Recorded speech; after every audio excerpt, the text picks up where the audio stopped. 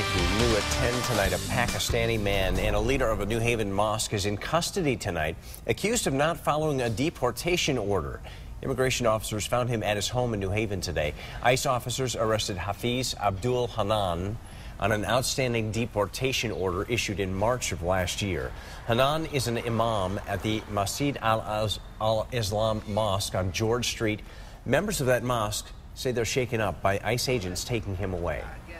It's a tragedy, actually, because all it does is it, it, creates fear and it creates, you know, uncertainty in people's hearts.